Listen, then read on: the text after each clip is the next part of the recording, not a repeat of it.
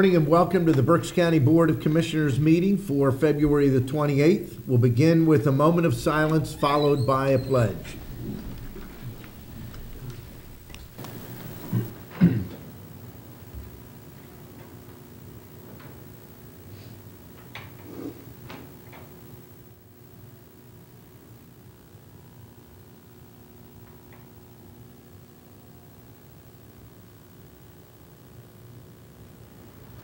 I pledge allegiance to the flag of the United States of America and to the republic for which it stands, one nation, under God, indivisible, with liberty and justice for all.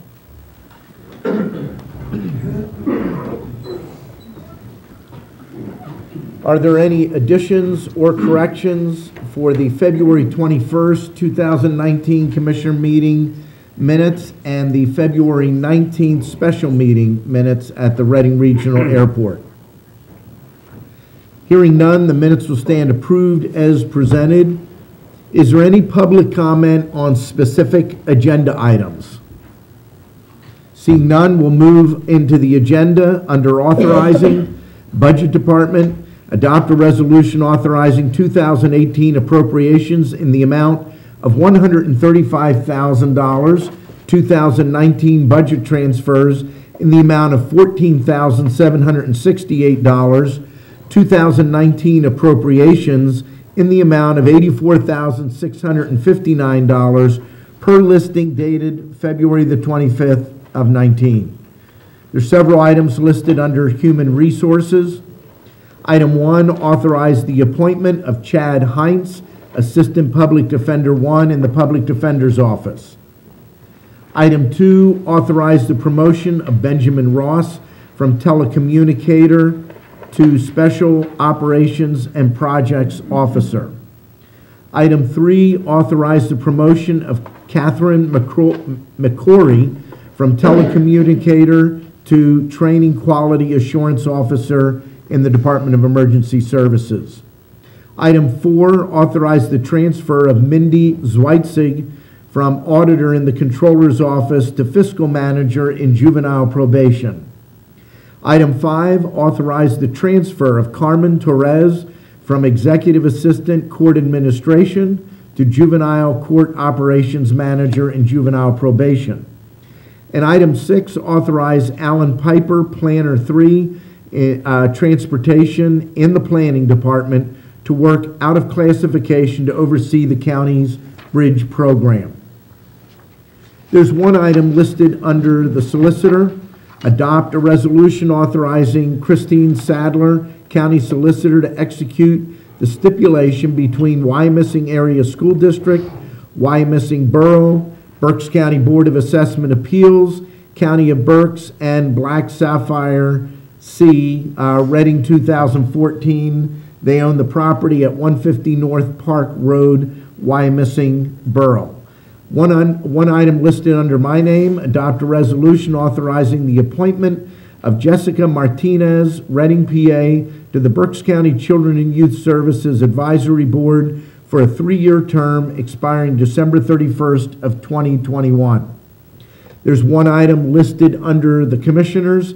Adopt a resolution authorizing execution of the agreement for signage installation, maintenance, and repair between the County of Berks, American Rivers, Inc., out of Washington, D.C., Berks Nature, Pennsylvania, uh, Berks Nature, and the Tulpehocken chapter of Trout Unlimited, Inc., uh, grants permission to American Rivers and Berks Nature to install an educational interpretive sign on county property contingent upon the removal of the paper mill dam.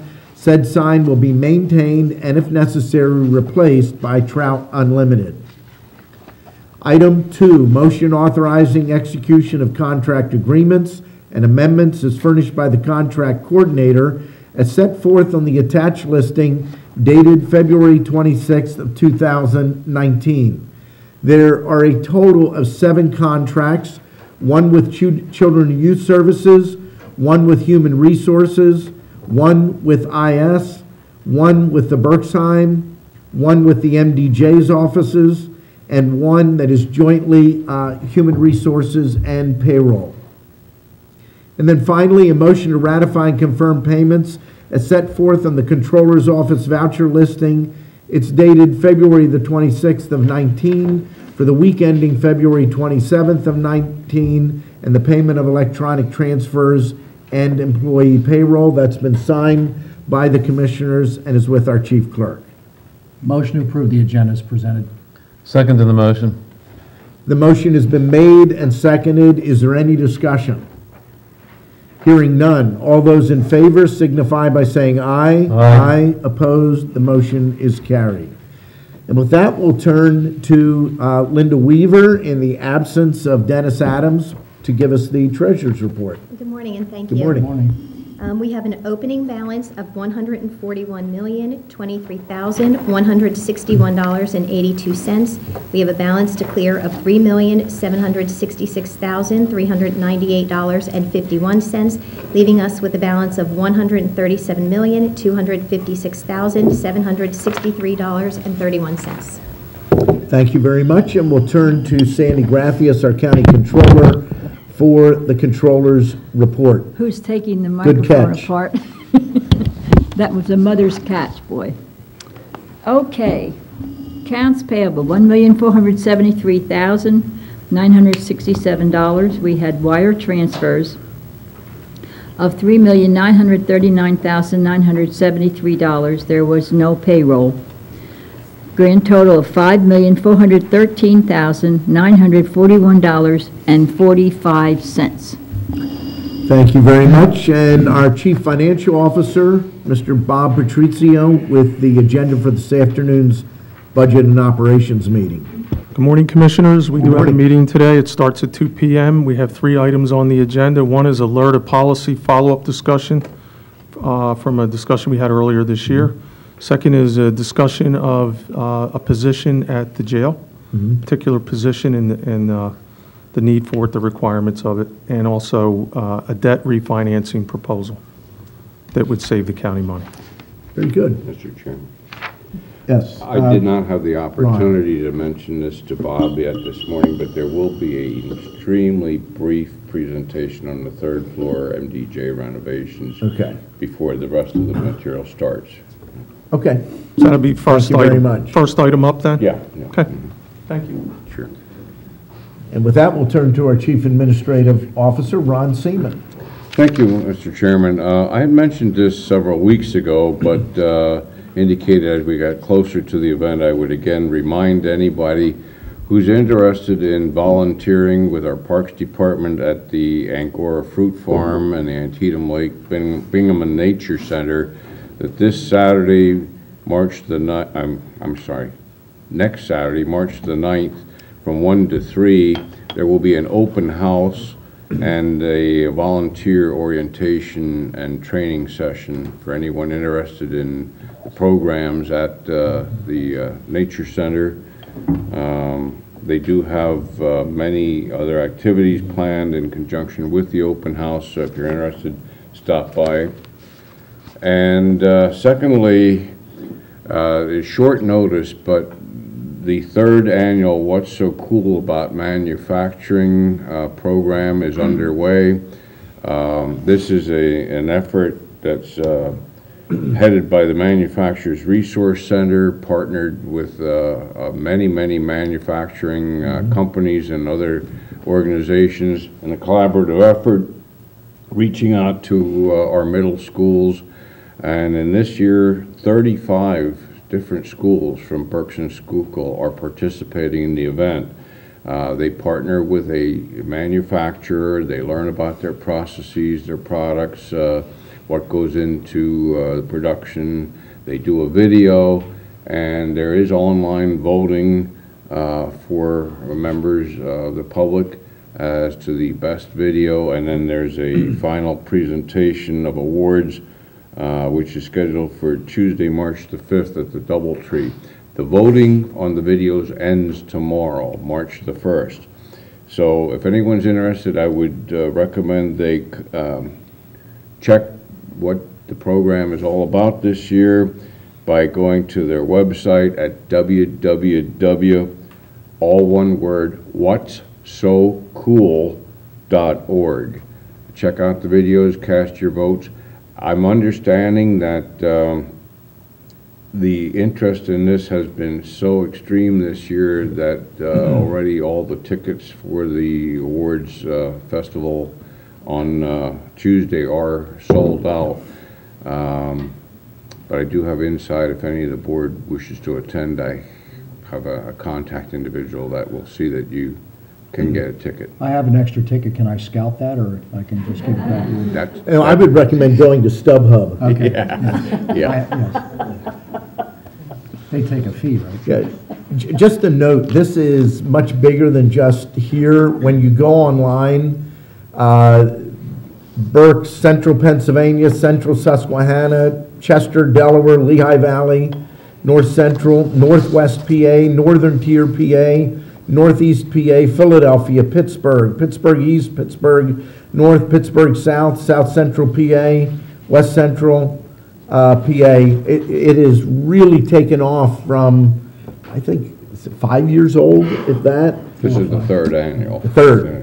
I just, uh, really very, very positive. Yeah, and- and Great it- introduction to students. If you go to the website, you Jump in. have to go to the Berks Schuylkill page. Correct. To get to the videos. And it's right on the home page. Right. And it says 2019 Viewers' Choice, vote uh, February 27th, March 1st, and you just simply go into that, and it'll take you into our, our region. It's a very entertaining, um, just to watch the videos and see the enthusiasm of the participants uh, in learning about manufacturing. It's, it's, I recommend it for everybody. Great.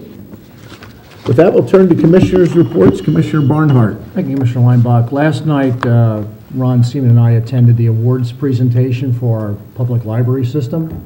Uh, Many fine, qualified uh, libraries and their staffs received uh, standing ovation for their efforts out there in the libraries, and I was there on behalf of the Board of Commissioners and and recognized, and I acknowledge the fact that they can really stretch a dollar in the libraries to a dollar seventy-five to a dollar eighty. I said they should work in our budget office to help us stretch county dollars as much as the libraries do. They do a great job with the amount of money they actually have allocated to their library system. So I uh, acknowledged that and told them to keep up the good, good work.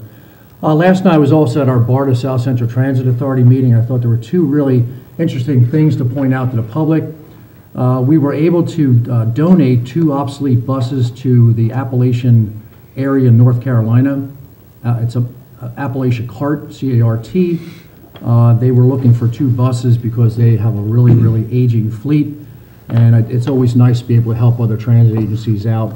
If and when they dispose of those vehicles, uh, South Central would get the, the residual, the amount of money they actually sell them for. They're not going to bring them back from North Carolina once they can no longer use them.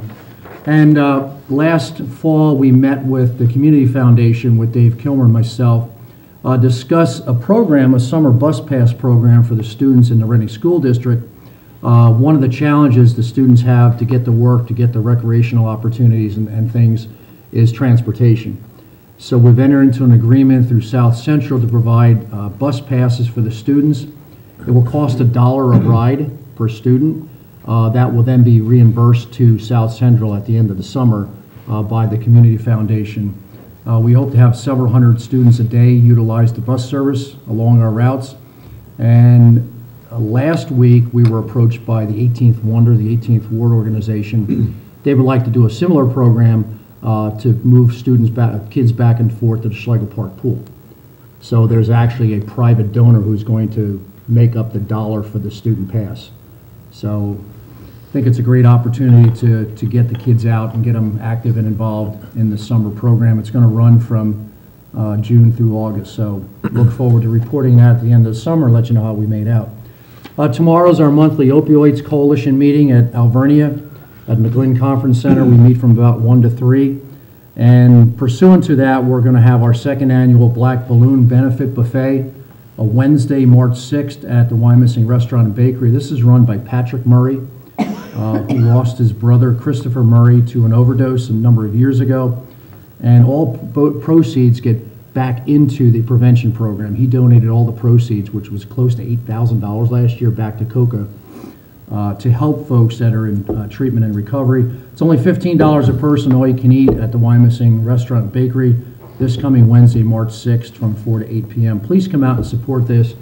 Last year it was standing room only, and it was really, really a great outpouring of support uh, for people like Pat Murray, who works for the jail, uh, works for the county as a corrections officer at the jail, and also as part of our opioids coalition, so I wanted to make sure, he was here last year to explain this, so he's not able to be here today, so I want to explain that for him. Last but not least, our uh, CCAP Behavioral Health Task Force had our uh, monthly conference call uh, Monday, and we discussed uh, what we have done about a year and a half or two years ago. We pulled together an organization through Human Services and Courts and Corrections and Community uh, Behavioral Health Task Force to look at the impact the counties have with respect to medical marijuana. Now that we're faced with the potential, and I say potential of uh, the legalization of recreational use marijuana, we believe the county should pull together and try to figure out from a county standpoint what that means and what kind of impact that would have uh, with counties. So we're waiting to hear back from Doug Hill as to what that uh, committee will look like. I certainly have my own reservations about legalizing uh, marijuana for recreational use, simply on two fronts, and there are many fronts, but uh, the scientific evidence proves that a, a child's brain does not fully develop till they're at least 25. Uh, and what really floors me about advocates for this is, oh, it's a great way to ra- raise tax revenue. You know, it's always easy to put a tax on the sins, you know, gambling and alcohol and cigarettes, and oh, gee, now legalizing marijuana. I, I think if this is a grab by the state to try to raise tax revenue, I think it's, it's just uh, a terrible way to go about doing something like that. And furthermore, we have a, a, a crisis, uh, certainly with uh, driving under the influence, whether it's alcohol or prescription drugs or marijuana and so forth. So I just think this exacerbates the whole thing by legalizing something like this. Uh, So from two fronts, again, you know, people are all excited about, hey, this is great, recreational marijuana, we should be able to do what we want to do. There's a, there's a, a there's a cost to that. You know, you're, you're going to debilitate young minds forever, and you're also going to more than double, uh, just as an estimate, the amount of people that are going to be out there driving under the influence that really, quite honestly, shouldn't be driving under the influence. It's going to happen. So I know the uh, lieutenant governor is doing, a, I guess, a whistle-stop tour, John Fetterman, around the, the state. And from what I understand, the meetings he's having is, is it, the people that are coming are very pro legalizing recreational marijuana. Well, you know, I, I think that people like me who are not really comfortable with going to that next level are not coming to these meetings. It's, it's obviously the advocates on behalf of legalizing it. So we felt that it was important for the counties to pull together and try to come up with a united strategy, because ultimately, I guess this would have to be looked at and reviewed by the House and Senate of the state, and uh, hopefully cooler heads will prevail when it comes to something like this. We've already been uh, looking at it and being very proactive as a county with respect to the medical marijuana and our workplace uh, policy. So this is, again, something that's out there that I think we really need to pull together and come up with some strategy to, to deal with this. Thank Thank you, you. Commissioner Leinbach. Commissioner Scott? Well, I didn't think I would have anything to say, but now I have to agree with Commissioner Barnhart uh, with regard to uh, legalization of marijuana. I've said many times, and I've read from scientific articles as well as letters to the editor from physicians regarding the negative effects, sometimes permanent effects of marijuana usage, especially on young people. Um, He's absolutely right. Um, One thing I I would add is that marijuana contributes, according to the scientific literature, and there are- are some new books coming out uh, on this subject. You can Google them, and you Google them and you'll find them. Uh, But marijuana usage, prolonged usage contributes to mental illness. And what's the biggest problem in county jails? Mental illness. It's contributing to the cost of our jail system, uh, jail systems all over the state. Query, why would you want to exacerbate the cost of the jail system by encouraging or tolerating people using marijuana and then winding up in our jails with exacerbated mental problems? Um, That certainly would offset the tax revenue. If you talk to any of the district attorneys, detectives, they will say to a man that they wholeheartedly believe that marijuana is a gateway drug to other uh, more uh, intense uh, drugs. So um, it's cool to be for it, but the reality is, it's not a good idea. So, um, enough said on that. I'd also report that I was one of many people in Berks County who was without power. Uh, My power was restored last night at 8 o'clock. Um, I had a lot of things to throw out from my refrigerator, but I'm in a much better mood now. Um, And I think, I heard on the news yesterday that there were 60 people left in the county who did did not have power. So I was one of the last who had his power restored. And if you hadn't experienced a long power outage, uh, you know it can, it's a mood-altering experience. So, anyway, that's all I have. The Thank you. longer it goes. Yes. Thank you. Uh, I want to start by recognizing someone in the audience. Uh, Yesterday, Stephanie Shirk from Penn State Extension and I communicated, and uh, she has some news I'm going to let her share uh, that is breaking news relative to the spotted lanternfly. So if you want to step up to the microphone. Sure. Good morning, Commissioners. Good morning. Good morning. Nice to be here today, and I'm I'm glad we had a chance to talk yesterday, Commissioner Leinbach. Um, Because spotted lanternfly isn't invading our yards and our businesses right now, I know it can be a little bit out of sight, um, out of mind for folks. Um, But as, as we all work in this partnering agency, organizations um, to help alleviate this problem. Um, Penn State Extension is continuing with our research. Uh, We have quite a colony up at University Park and on local um, businesses with, re- in regard to the egg masses, and we're tracking uh, how long, you know, it takes for those bugs to hatch, um, playing around with the different temperatures that we keep them at, and so this research will be very helpful um, coming forward so that we can start to predict when they'll be hatched, and then we can share that information in regard to the pest management. With that, um, the university has decided to fund a position for an extension educator for ornamental horticulture uh, to be housed here in Berks County and specific to spotted lanternfly. So as all of you commissioners support Penn State Extension with the county funds, as extension is funded by federal, state, and local dollars, this position would be a position that would not be tasked with coming, with funds co- coming from the county. We are understanding um, how important it would be to have another position here in Berks County beyond our master gardener coordinator, who has pretty much been taking on the fight um, to getting out that information on how to best control this pest to our homeowners and businesses. So I wanted to bring that information to you, that that job posting should go live um, here in the next coming weeks. So, Great. any That's other questions on news. spotted lanternfly? I, I often hear from people say, what's happening? What are they, what are they doing? And uh, Penn State has been on this, along with the Pennsylvania Department of Ag, uh, right from the beginning. Uh, But we really appreciate the commitment of Penn State to uh, this new position, and it makes sense it would be housed in Berks County. Absolutely, and it'll help us, Since we're kind uh, of work ground on- zero for the spotted lanternfly. Sure, it'll help us work in that applied research uh, a little bit greater. As always, in the Extension office, uh, we have homeowner management guides. We have information on the quarantine permit training for businesses and individuals that are moving goods in and out of the quarantine zone, um, yard waste. So if there's any questions you have to spot spotted lanternfly, please don't hesitate to contact our office. So, Great. Thank you. Thank you very much, Stephanie. A Couple other uh, items. I will be heading down to DC uh, later this afternoon for the National Association of Counties Legislative Conference. And tomorrow morning, we have a very important meeting. I'm one of a handful of leaders from across the country meeting with EPA officials on the new language for waters of the U.S.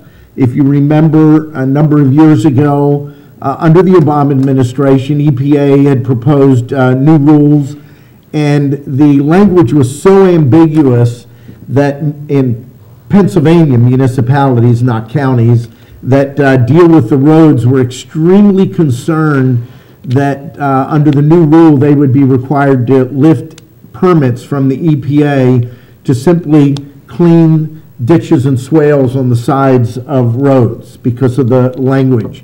Farmers were extremely concerned that areas that might uh, have simple erosion would require uh, a EPA permit. And it was because of the use of the word ditches.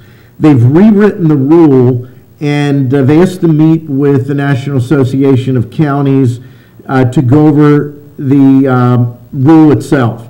Overall, it is much improved. However, want to highlight uh, two things. One, and I'm going to just read this, while the proposed rule exempts ditches that are not only wet during rainfalls, other ditches that flow seasonally or year-round may be jurisdictional.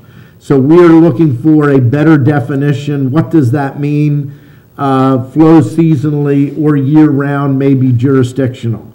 The second is the proposed uh, rule newly defines the term tributary as a naturally occurring surface water channel that contributes perennial or intermittent flow to waters of the U.S.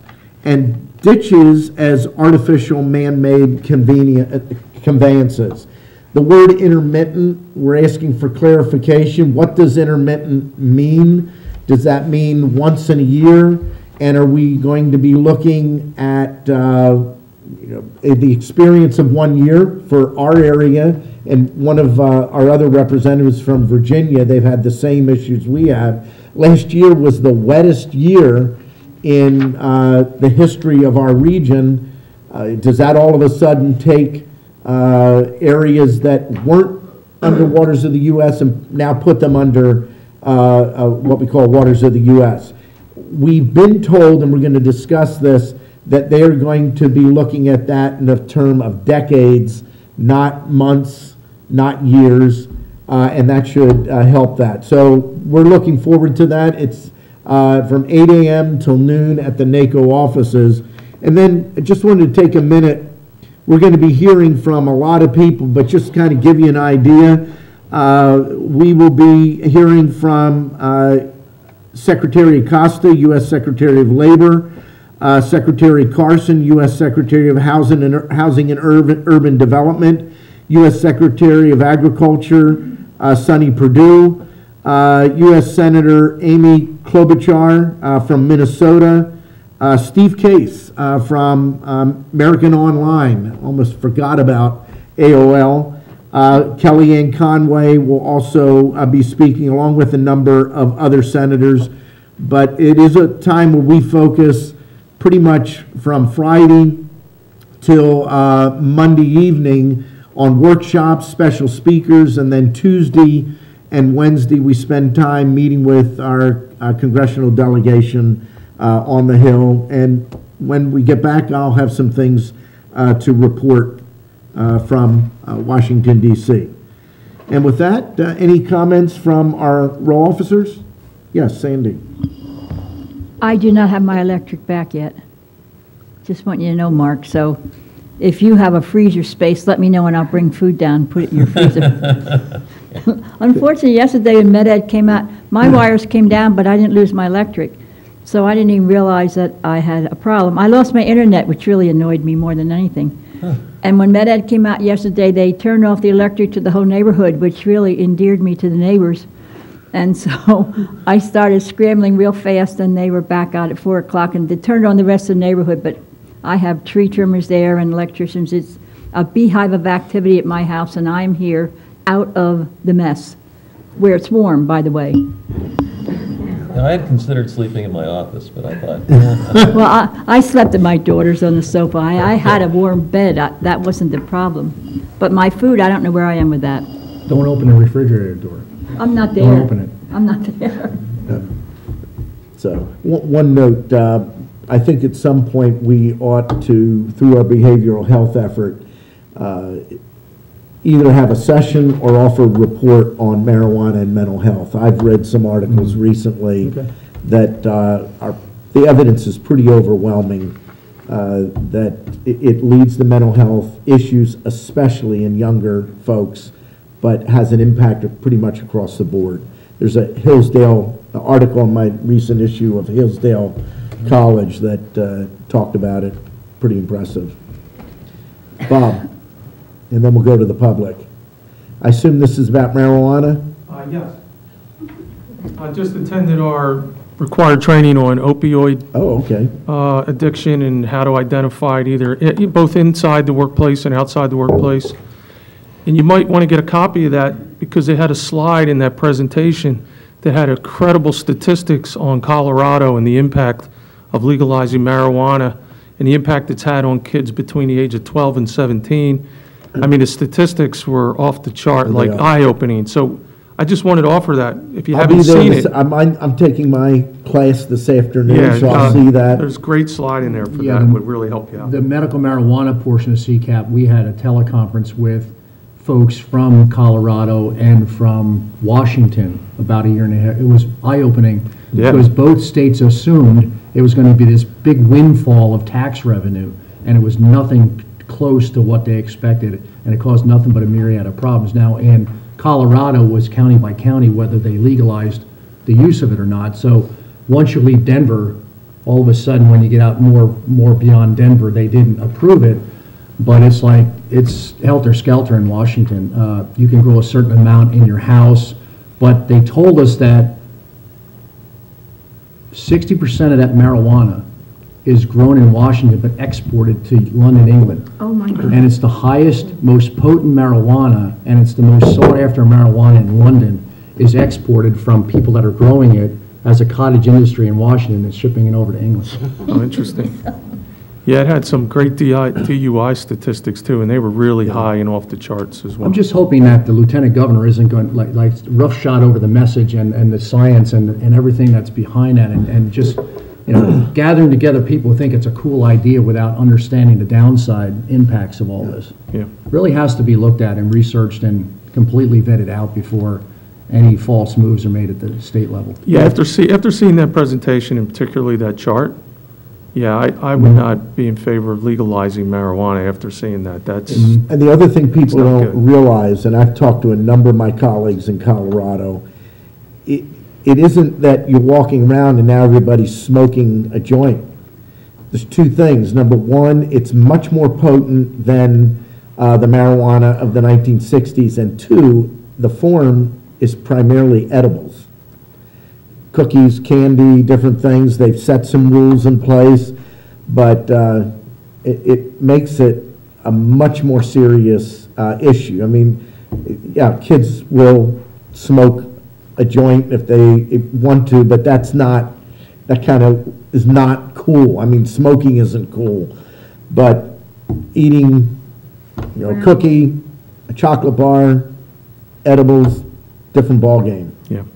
So that's So, all I wanted to comment. I just think it's something, it's, it's heading this way. Uh, All three of us have talked about it. I think it's something we should get in front of as a county. So, uh, comments from the public? Yes, please step up uh, to the microphone, state your name and where you're from. Hello, Crystal Kowalski, Wyomissing. I wanted to ask if there were any tours in the past week or if any tours had been scheduled at Berks Heim? No tours uh, held this week. We are in the process of beginning the scheduling process of the tour. Oh, you are scheduling them. Okay, thank you. All right, I appreciate it. Just as a restate, since Sep- October of 2017, I've been against the privatization or sale of the nursing home. So I'm not supportive of, of uh, organizations taking a tour of the nursing home. Thank you. You're welcome. Uh, Please step up to the mic. Uh, Name and where you're from.